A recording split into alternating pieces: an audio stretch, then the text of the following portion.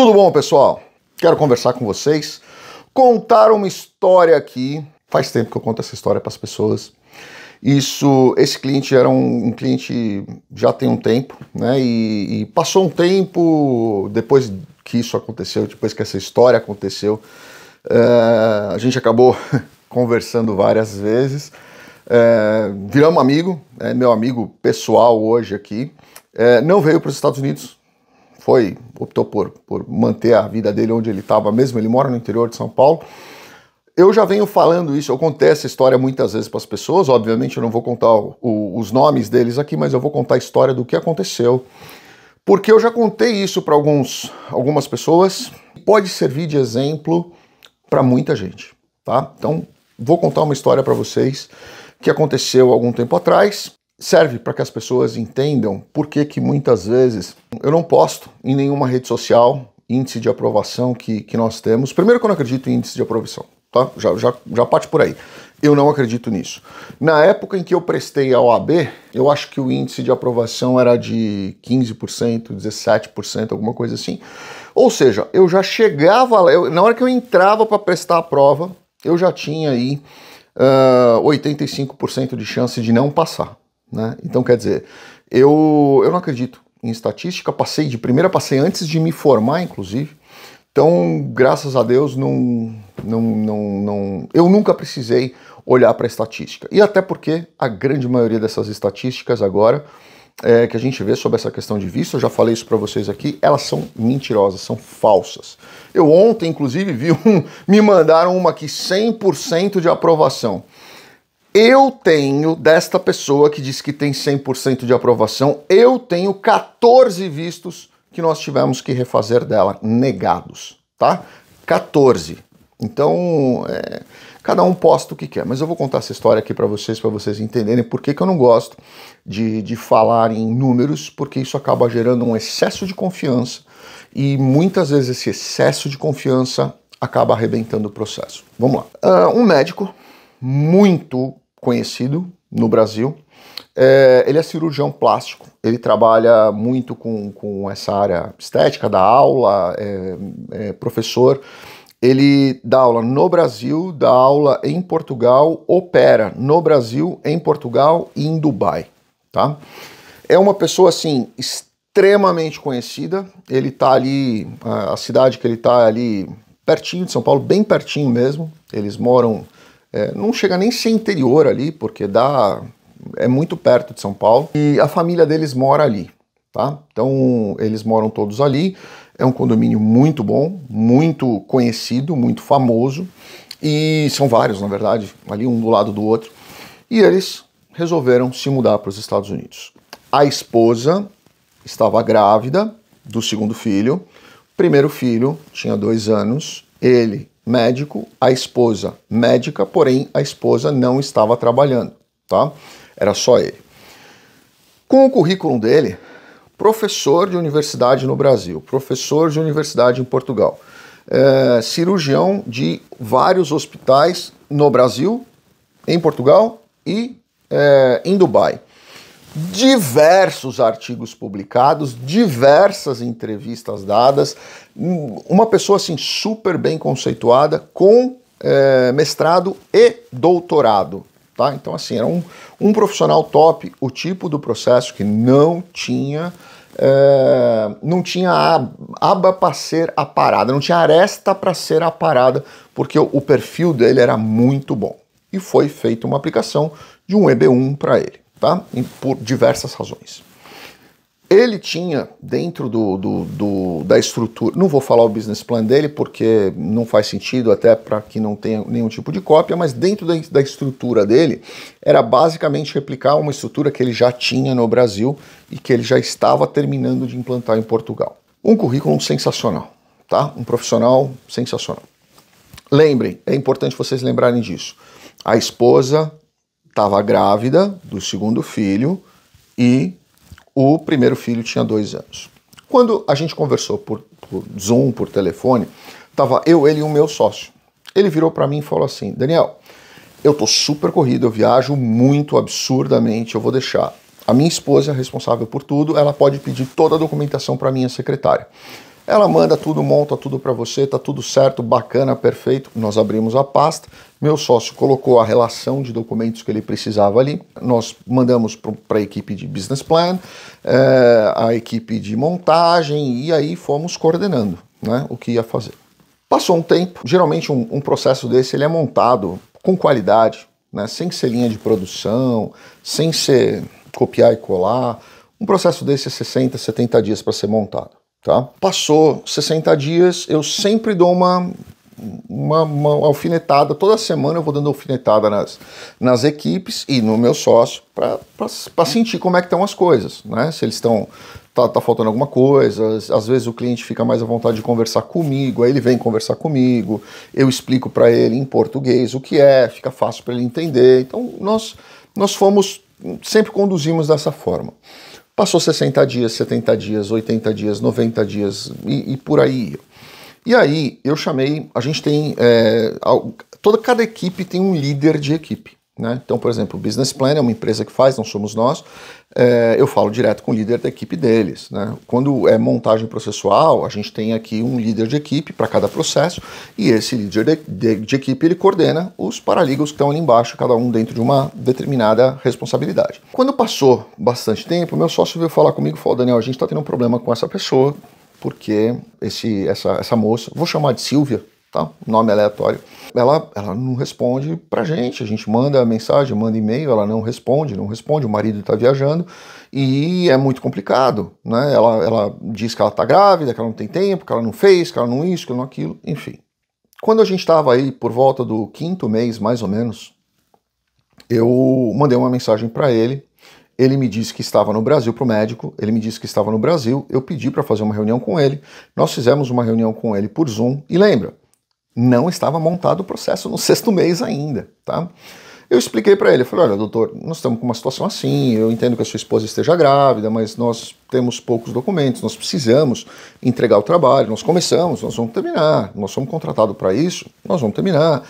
Meu sócio está tá me questionando aqui, o pessoal da montagem está me questionando por que, que não está sendo juntado, eu entendo que ela está grávida, mas é, são documentos comuns, simples, que o senhor consegue aí fácil no seu arquivo, no seu computador, enfim. É, ele pediu desculpa, falou: vou montar, vou fazer, vou. E realmente fez aquilo, mandou, conseguimos tradução. Passou 50 dias, foi protocolado. Ou seja, já estávamos mais ou menos no sétimo mês quando o processo foi protocolado. Tá? Por quê? Porque nós não recebíamos documento. Quatro meses depois, chegou uma RFE. Muita gente agora deve estar pensando: poxa, Daniel, mas Quanto tempo demora para chegar uma RFE? Depende, depende do tipo do processo, depende do tipo da estrutura, depende de onde foi protocolado.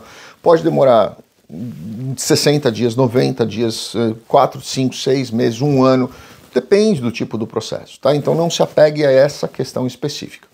E aí nós recebemos no quarto mês uma RFE pedindo quatro coisas. Primeira coisa que eles pediram foi a cópia do passaporte novo do filho mais velho. Por quê? Na época ele tinha dois anos, ele era muito novinho. E o passaporte para crianças muito novas se expira em dois anos. E tinha expirado já o passaporte dele. Ou seja, ele precisava ter um passaporte novo. Quando nós protocolamos o processo, nós sabíamos que ia vencer. E eu já tinha avisado para ele: olha, precisamos de um passaporte novo do seu filho. Ele já tinha, inclusive, me avisado que tinha pedido para fazer. Então, quer dizer, eu tinha certeza que ele tinha isso. Segunda coisa que eles me pediram: o passaporte do filho é, recém-nascido. Por quê? Quando nós protocolamos o processo, a criança tinha nascido. Para não perdermos tempo, meu sócio achou melhor que a gente juntasse a certidão de nascimento da criança sem juntar o passaporte, porque ele tinha acabado de nascer. Então nós juntamos a certidão de nascimento e sabíamos que em algum momento eles iam pedir o passaporte. A gente ganhava o tempo e sem perder o tempo para o processo, certo? Então eles pediram o passaporte do segundo filho deles também estava na mão. Terceiro ponto: quando eles fizeram o, a certidão de casamento deles, eles tinham casado em dois lugares. Né? Eles, ele tinha a, a cidadania italiana, ela tinha cidadania portuguesa, mas eles aplicaram com o passaporte brasileiro. Eles tinham casamento no Brasil e tinham casamento na Itália. Quando nós juntamos o, a certidão de casamento deles, nós juntamos a certidão da Itália, que foi o primeiro casamento que eles fizeram. Eles casaram na Itália, depois revalidaram no Brasil, casaram de novo no Brasil, né? Não foi, não foi uma revalidação, foi um outro casamento que eles fizeram no Brasil. Então eles tinham essas duas. Mas, né, numa das certidões deles, aparecia a certidão de casamento do Brasil com data diferente.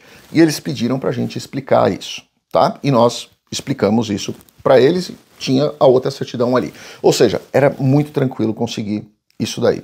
E o quarto documento era que na hora que nós protocolamos o processo, o médico já tinha terminado o doutorado dele, mas não tinha pego ainda o diploma de, de conclusão do curso. Ele tinha pego só uma declaração da universidade que ele tinha completado o curso com todas as exigências e tudo mais, e estava graduado com título de doutor, mas ele ainda não tinha o papel na mão. Tá? Ele tinha só a declaração da, da universidade. Então eles pediram essa declaração, porque nós dissemos no processo que ele ainda não tinha pego, mas ali estava provisoriamente, eles pediram. Quatro documentos. Só quatro documentos pediram na RFE. Qualquer pessoa vai dizer, poxa, Daniel, esses documentos são simples, esse processo está aprovado. Tá? Eu não sei o que aconteceu, eles deram 90 dias para responder, não sei o que, que, que se passou ali, mas a gente cobrava. No mesmo dia que nós recebemos, meu sócio mandou para eles. Tá? Ele recebeu e mandou no mesmo dia o e-mail. Comigo em cópia e toda a equipe em cópia, a esposa e o marido.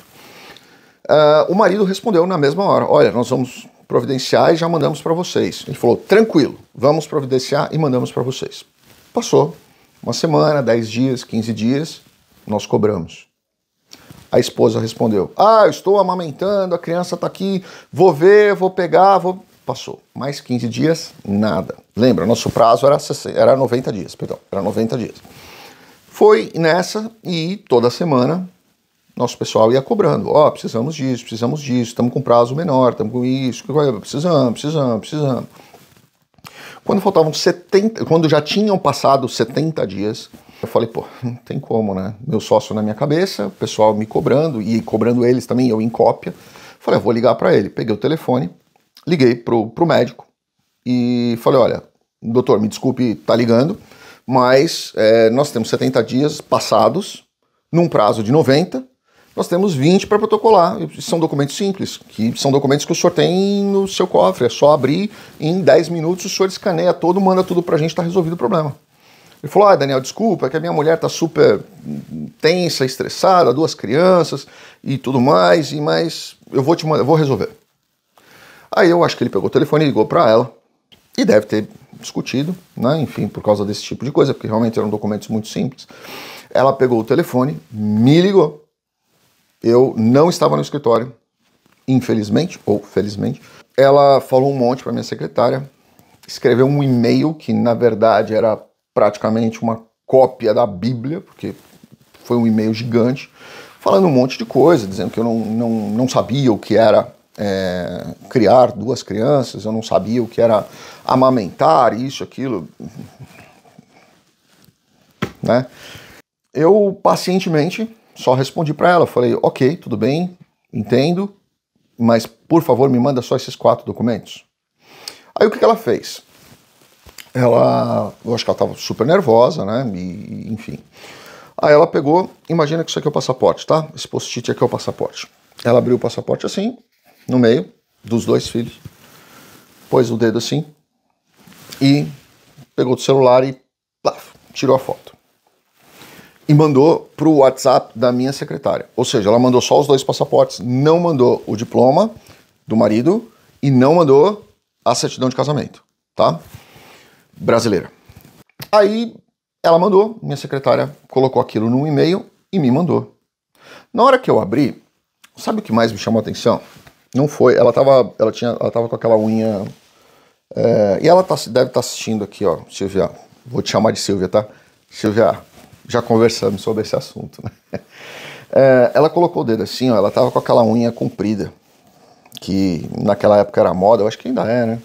É, meio pontudo assim, e azul, azul metálica, escuro, metálico. E a ponta da unha dela estava tampando a data de validade do passaporte do filho mais novo. E ela mandou. E quando ela mandou isso, eu abri no meu. Minha secretária mandou, ela nem falou nada, ela só mandou no meu e-mail. Eu acho que ela não teve nem coragem de falar comigo.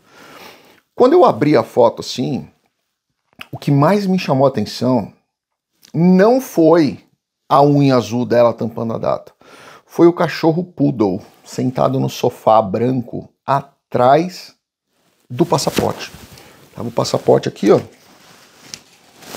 E a cabeça redonda do poodle marrom aqui, ó, sentado no sofá atrás.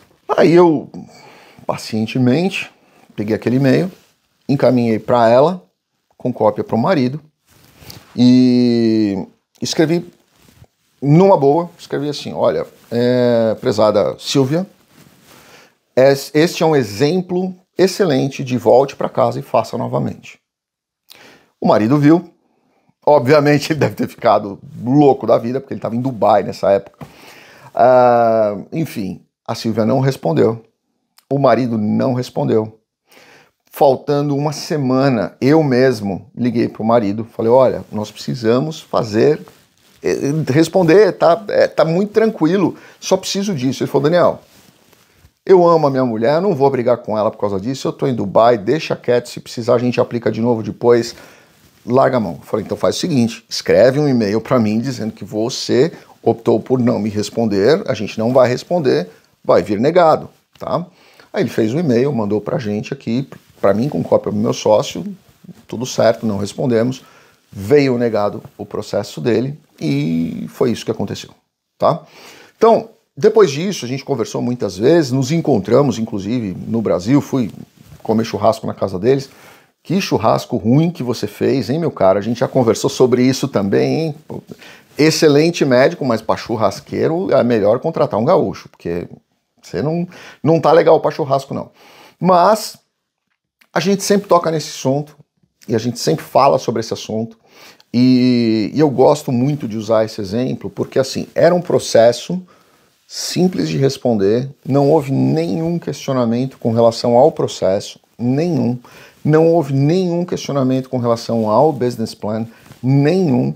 Pediram quatro documentos simples de se conseguir, mas às vezes por um momento de desconforto ou um momento de, de, de ansiedade, óbvio, a moça tava, tinha acabado de dar luz, tinha uma criança de dois anos, eu sei o que é criar uma criança de dois anos, porque meu filho está comigo desde que ele tinha é, desde que ele nasceu, eu me separei da mãe dele quando ele tinha dois anos e eu fiquei com ele sozinho, eu e ele sozinho, desde que ele tinha dois anos.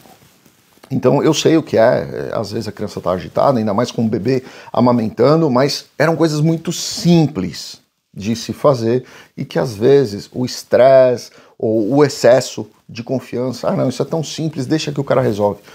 Não é assim que funciona, né? Então eu não gosto de falar nessa questão. E eu não gosto que as pessoas se apeguem nessa questão de ah, qual é o índice de aprovação. Isso não existe. Você pode ter, vou chutar um número aqui, né? Você pode ter meio por cento de negativa de processo. Vai ser um número muito bom se você estiver nos 99,5. Mas se você fizer parte dos meio por cento de negativa, para você foi 100% de negativa. Né? Então, Toma cuidado. Primeiro que esses números são mentirosos, esses números não existem, tá? Só vocês olharem os próprios números da própria imigração, vocês vão ver que esses números são, são mentirosos, são para pescar, só, mais nada. Mas mesmo assim, eu acho que que não fossem mentirosos, tá? Se não fossem e que não fossem, ainda assim eu prefiro não não não criar essa expectativa nas pessoas, porque quando você tira o pé das pessoas do chão, elas se planejam de uma forma tão excepcional e extraordinária na certeza de que elas vão chegar num determinado objetivo e quando elas não chegam, se elas não têm essa consciência, elas vão ter uma, uma, uma frustração muito maior do que às vezes já é a própria frustração de não ter aprovação. E pode acontecer com qualquer pessoa. Primeiro que é proibido qualquer advogado garantir um resultado. Se ele está garantindo um resultado, ele não é advogado. Porque se ele garantir, ele pode tomar uma representação, vai tomar um processo e vai ter problema eterno. Então, nenhum advogado sério pode garantir. Nenhum advogado pode garantir. Sério, menos ainda. Qualquer tipo de resultado, principalmente se ele tiver experiência e já tiver passado por situações onde ele sabe que o excesso de confiança pode trazer problema para o cliente e para o processo, certo?